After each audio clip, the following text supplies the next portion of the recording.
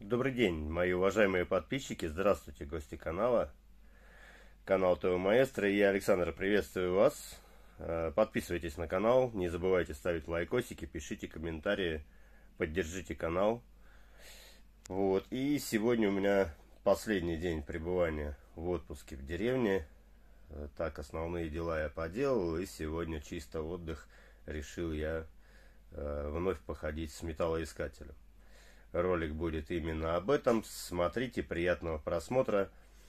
Поддерживайте, пишите комментарии, ребята, кто занимается подобными вещами. Э, учите, учите, советуйте, рекомендуйте.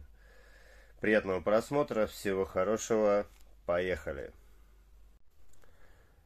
Вышел вот, друзья, на поле, прошелся там по огороду. Ну так, чисто по дороге шел, пиликал, два гвоздя нашел. Здесь вот пару проволочек, ну, черный металл. Вот, и вот сейчас сигнал такой вот, такая вот какая-то приблуда. Видимо, вставляется в ручку, в деревянную. Какой-то, ну, старинный инструмент. Я не знаю, что это делали. Какой-то скребок, может быть.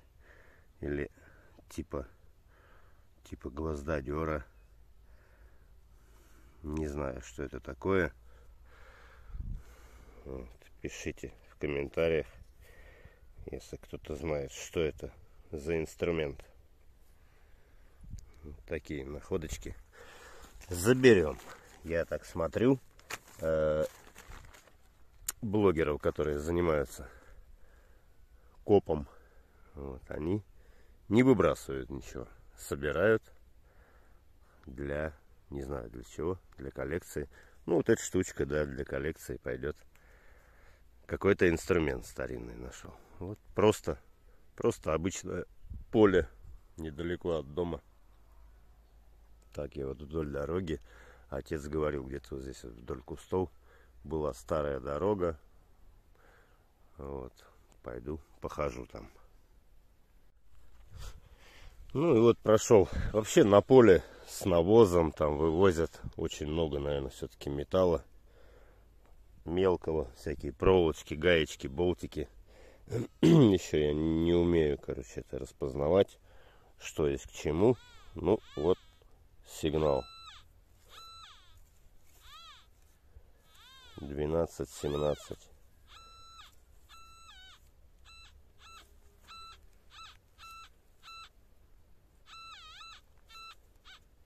Сейчас копнем. Ну, металл. Вижу, что металл. Блин, уже потерял где.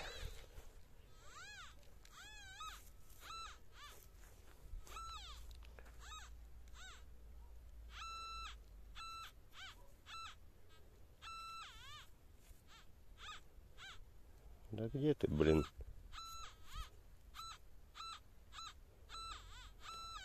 Где-то вот здесь. Копаем.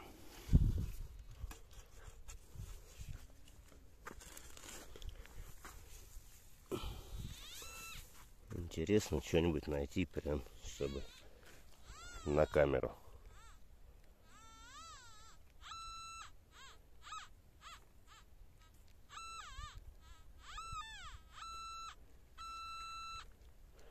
Глубоко, да? Где-то в глубине сибирских руд.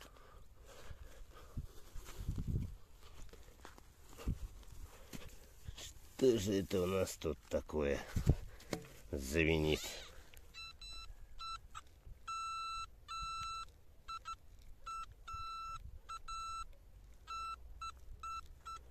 Вот выкопал.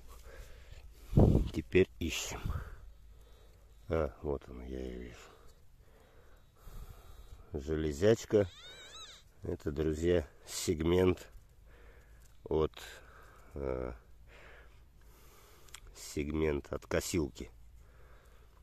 Вот они, заклепочки были. Сегмент. Он такой остренький здесь.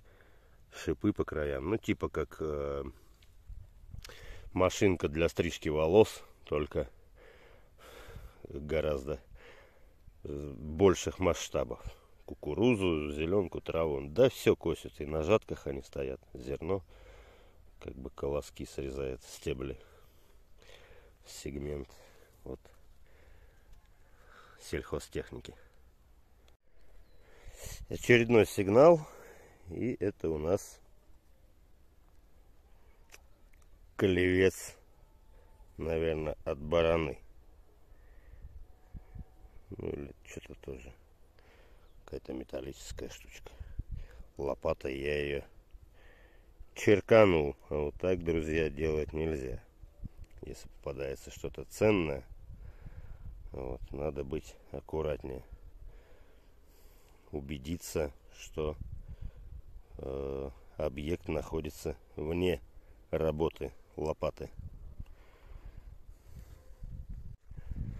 Очередная находка. Квадратная какая-то. Саморубленная, мне даже кажется. Может быть и нет. Гайка. Такая вот гайка. Заберем. Ну, надоело мне гулять по полю там, всякие уголочки, железячки собирать. Думаю, зайду я вот сюда вот в посадочку в рябиновую на берегу пруда. Думаю, кто-нибудь здесь сидел на, пик... на пикниках. Какие-нибудь потеряшки могут быть. Но нет, опять вот сельхоз. Сельхозтехника рулит. Цепь. Цепь. Вот. Какого-то сельскохозяйственного агрегата.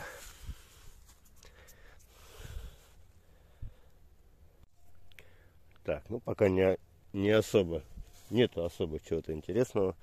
Цепочку я вот вырыл, ну и дальше. Тут рядышком копал, копал. Еще не видел, что это такое. Ну, просто кусок толстой проволоки. Такие вот находочки в посадке.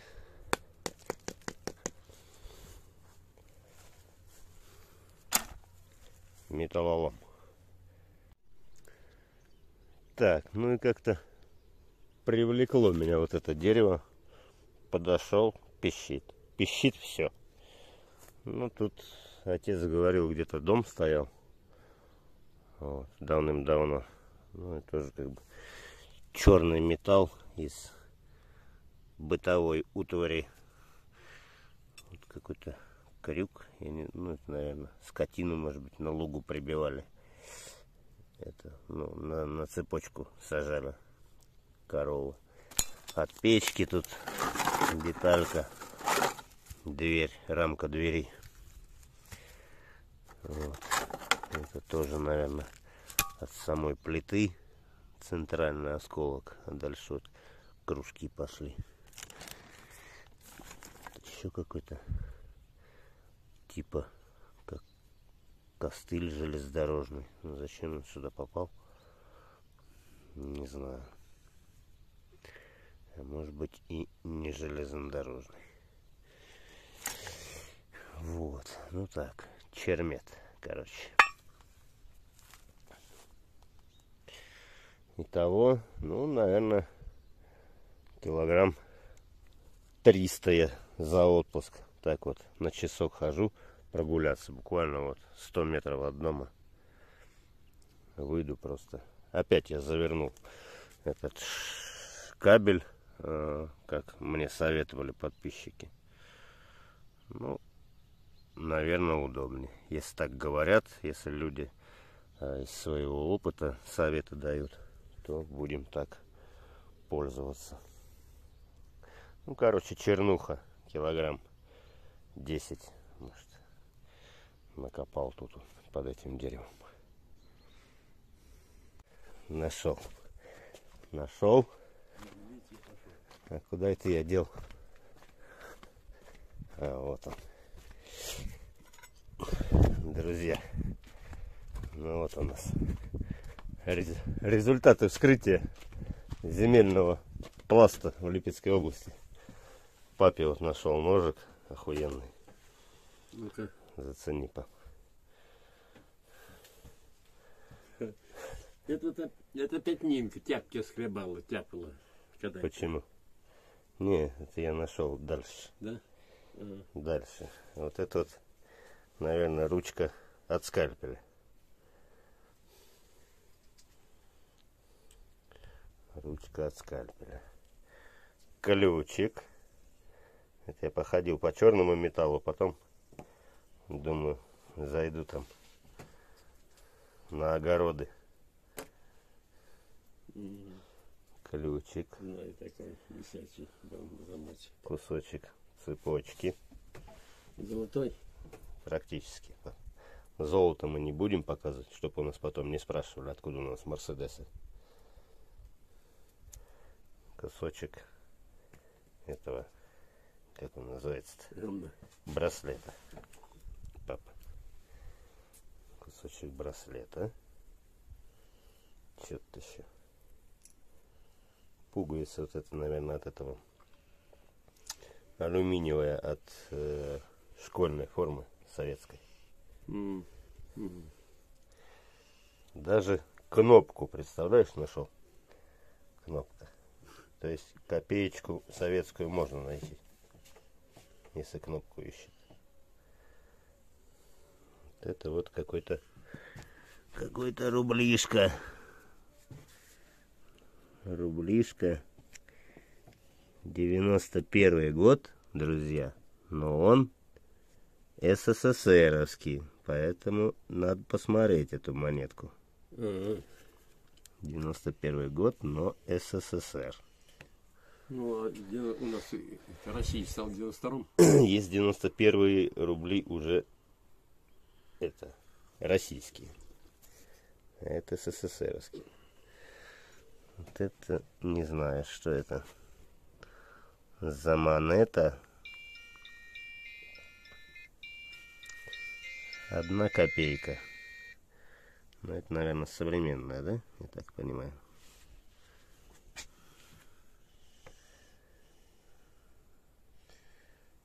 Уходит, да. Современная копеечка. Оплачены услуги. несколько несколько монет убиты вдрызг. Ну это такие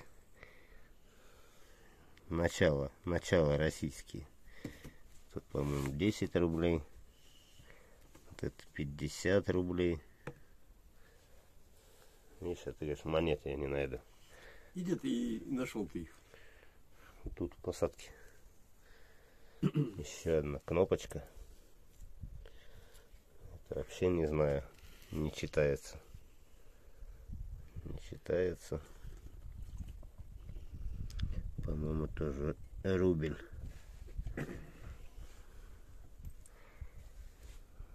А, а вот он, российский рубль. Один рубль 97 -го года. Вот они, видишь, 2 рубля у них. Аверс одинаковый. А, не, не одинаковый. Тут этот колосок и листочек.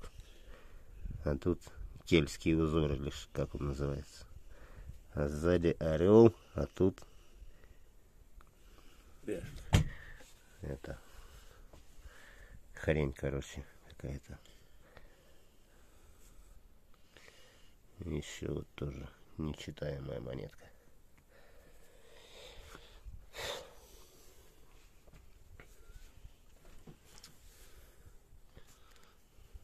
Вот Это вот надо рублишко глянуть.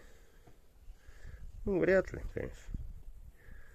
Ну, такие переходные обычно спрашивают.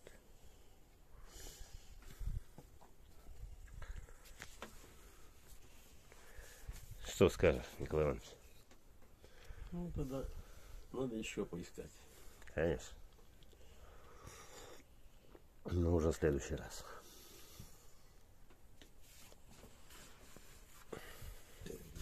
Небось, я пьяный спал. Из кармана. Может быть. И ножик из сапога, да? Поросят резать ходил. Заплатили тебе, смотри. Это 50, 60, 63 рубля и 2 копейки. Там я находил ножовку, два или три топора, два или три или четыре молотка. Их Юрка у пруд перекидал на, рез, на резинку. Кинь, оторвется нахуй пруду. Надо еще магнит купить. Есть такие магниты сильные, маленькие. Специально для, Ну, он Юрка магнит есть. для лова. Нет, папа, они какие-то там, не знаю, или на электромагнит, или какой-то он, ну, специальные магниты, сильные. Он может вытащить там до, до 30, до 40 килограмм. Там до железок молотков, там молотков по пруду, блядь. Ну да. Там один бульдозер перекидал, хуй знает что. Да у меня тоже отрывались там. Почему молоток всегда брали на рыбалку? Хуй знает, привязывающий его. Больше нечего взять. Хуй, ну я же смотрю, молотков ни одного нет, нихуя. А сколько у тебя было молотков? Вообще в пруду. Юрку сколько папер таскал, блядь. Так что работает наш аппарат. Мультикрузерок. Все он ищет, все он пиликает грамотно. Такие вот находочки. Ну и Руслан Петкин по, перки- по- сколько по пере- говорит, перетаскал, блядь, топоров, молотков.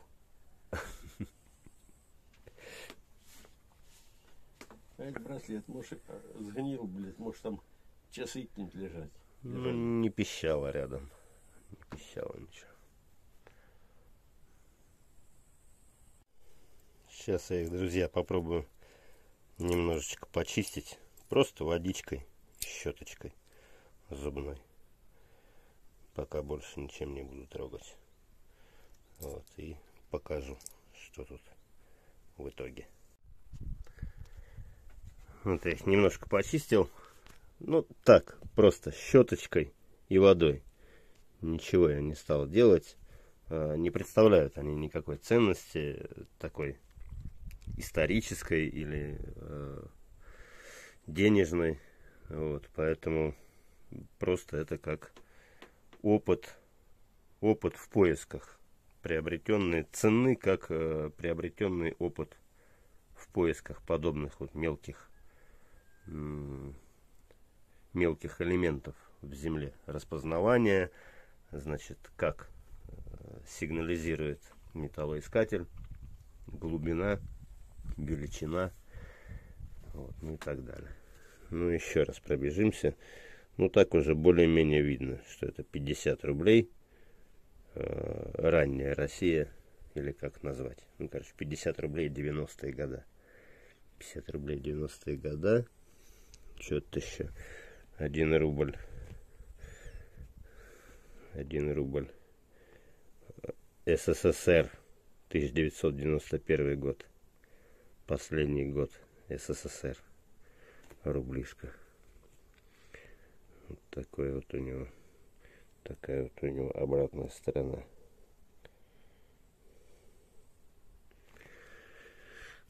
Тоже ничего не представляет. Так, это значит рубль 97 год, Россия. Вот это не знаю, ну по это по размерам тоже, наверное, рубль. Тоже Россия. Ранняя. И 10 рублей. Видно. Десяточку, но металл дешевенький, поэтому они просто-напросто окислились до такой степени, что и две по 10 копеек. Тоже Россия. Вот такой вот приобрели мы опыт в деревне.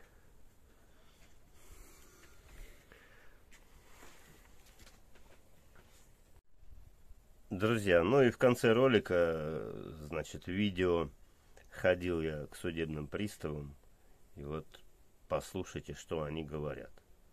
Блин, ваши комментарии по этому поводу. Я вот поражаюсь просто. Э, Значит, мы не знаем за что, они говорят.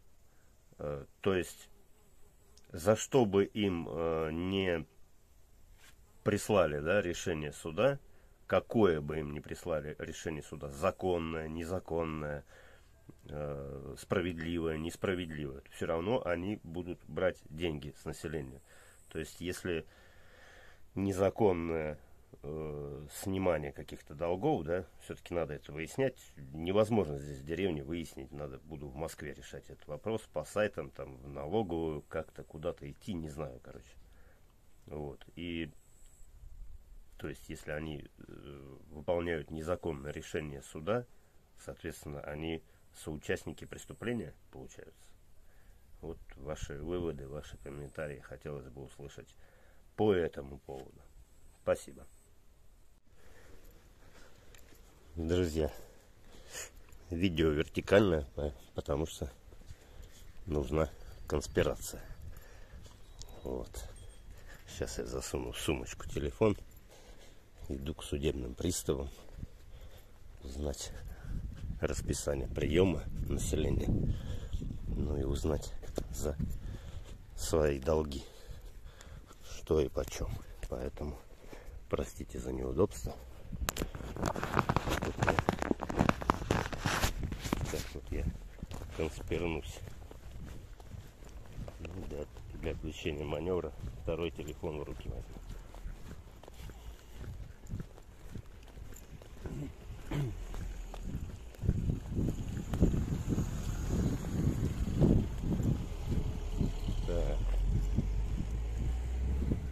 почта, шмочта. Здесь судебные приставы живут. Не здесь. Что у вас связь? Так. Даже не здесь, да? Где-то или здесь.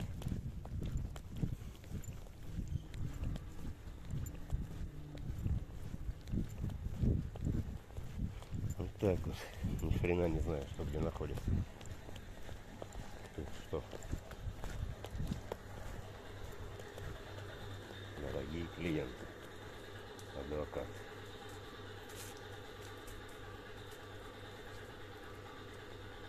Вот у нас как. Дорогие адвокаты. Ну что ж, переехали что ли? Или не дошел до них. Ёптерный бабай.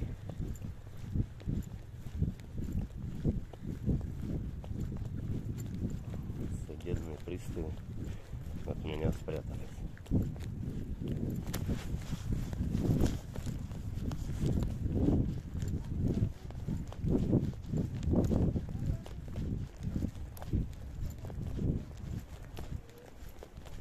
Если не вот здесь, тогда я вообще не знаю, где они.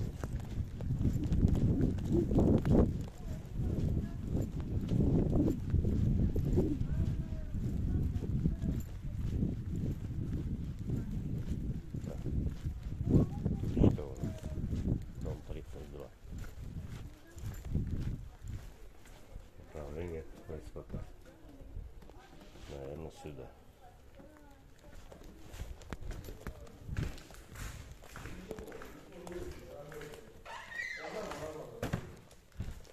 Здравствуйте. Что вы это? Здрасте. А, добрый день. Я бы хотел узнать, взять какую-то выписку или с кем-то поговорить. Приходит мне судебное решение на Сбербанк. Я не знаю за что. Мне нужно по судебному решению, значит, что за что снимают и снимают. Вы с нашей области? Да, из Екатериновки, Вы Фамилия? Рожки. Сейчас вот парень выйдет. Пока присядьте. Мгм. Хорошо, спасибо.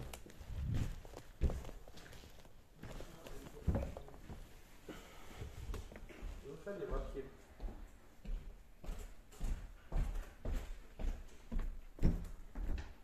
Матвеевич, принимает? Матвей, Чего? принимаешь? Ну, Можно. сумму.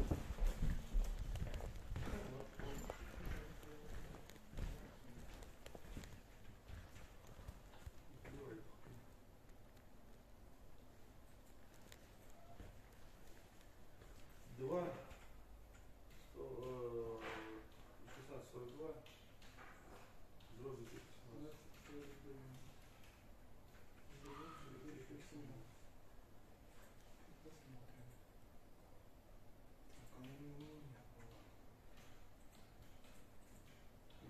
Так. Рыбина. Валентина Николаевна. Э, да, она, наверное, была... Вот тут в 19-м она была изъята. И потом возобновлена и окончена в 20 году. Фактически в исполнении, да. Потому что это еще на следующий год даже. Да, да. Или его, или его возвратить. Не, не, нет, он фактически не исполнен. Значит, он будет у нас храниться. до уничтожения. Да. Только его, знаешь как, его в отдельную стопку листу, в которой вот, вот у меня вот стопка, это листы 19 года. У меня в отдельную стопку идет, которая уничтожена уже. Да. Вторая стопка, которая, блядь, будет... Который в газ возвращает, Да, да? которая в следующем году только. Да. К концу года будет Да. завершена. И третья вот то, что я вот помечаю, когда кончено. 20 год. Да. Что больше их не иметь, что больше их не проверять, блядь. Ну да, ну да. Добрый день, разрешите? Да. Тимофей Игоревич. Я Рощикин Александр Николаевич с Екатериновки. Мгм. А, Мне приходит судебное решение, значит, налоги. Мгм. Вот. И я не знаю за что и про что. Так это. и я вам не скажу. По поводу налогов, это вам только в налоговую. У нас они пишут взыскать такую-то сумму задолженности. А за что конкретно у вас образовался налог? Как, э, за какое там имущество или еще за что-то? Это вам только в налоговой скажут. Я понял. Так. А где у нас находится такая организация? Только в Ельце, да? В Ельце, да, на строителе. Я понял. Спасибо. Мгм.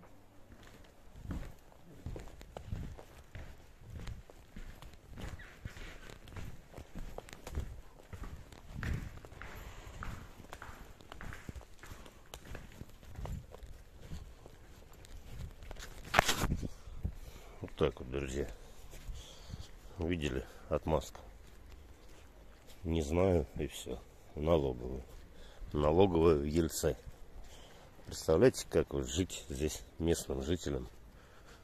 Э, Чтобы узнать, да? Елец. Ну, пусть там худо-бедно. Просто, блин, я не знаю. Немногие немногие представляют, как живут в деревне люди, вот чтобы им доехать до налогу, это ну, три сотни. Три сотни там стоят, я не знаю, 10 литров молока. Три сотни стоят 6 буханок хлеба. Ну и так далее. И время. Убить день. Просто поехать в Елец, в эту налоговую, простоять там очередь. Еще же никто не знает, приемный ли там день завтра, допустим, или неприемный. Ну и как назло, нету интернета. Хотел открыть Сбербанк и выписать. О, маман моя пошла. Сейчас мы ее догоним. Вот. А, Нету интернета, значит, хотел зайти в Сбербанк и выписать номера вот этих судебных решений, А, чтобы предъявить ему для рассмотрения. Ну, коли так, коли он не знает, то есть судебные, судебные приставы им дали только э, номер решения, я вот не понимаю, блин, ну как так? Номер решения. И что, у вас нету обоснования этого номер, номера решения? Вот это пр- просто удивительно. Ну ладно, пока будем считать, что нету у них. Понимаете, вот эта бюрократия, это просто капец. Вот, и где узнать? Зайти на сайт налоговой по номеру, посмотреть судебное решение, прочесть его. Вот, допустим, 32 тысячи у вас вычли за... Мама меня даже не видит. У вас вычли там за 20 год, 37 тысяч за 19 год. Вот. Ну, как бы, ничего не ясно пока. Дело ясное, что дело темное. А мы чешем за мамой. Идет без оглядки.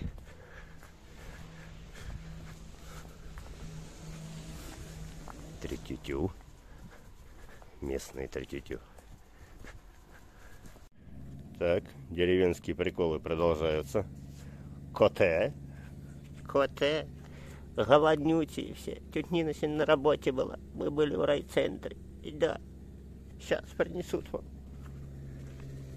Кролики смотрят влюбленными глазами на папу. Когда папа заведет свой агрегат.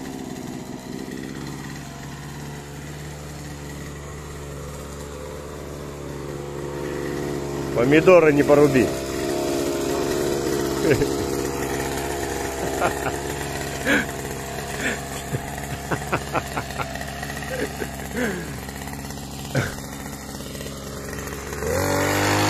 Ёбаный в. Как КамАЗ, блядь.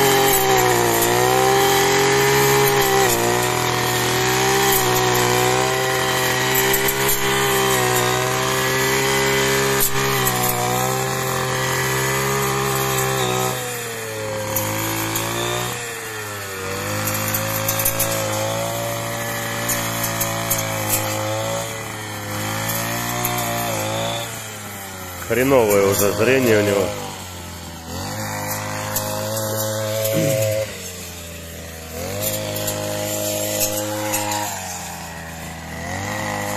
Столб не спили газовый.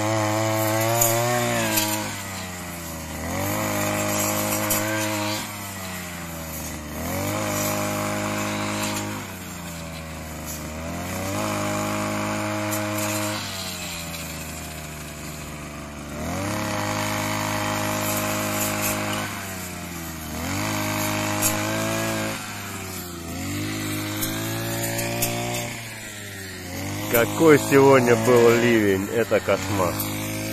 Ну там, в райцентре. Здесь вроде все сухо. Кошки молятся, стоят на дверь. Целый день нас не было. Голодненькие. Все голодные, мы тоже жрать хотим. В первую очередь королей.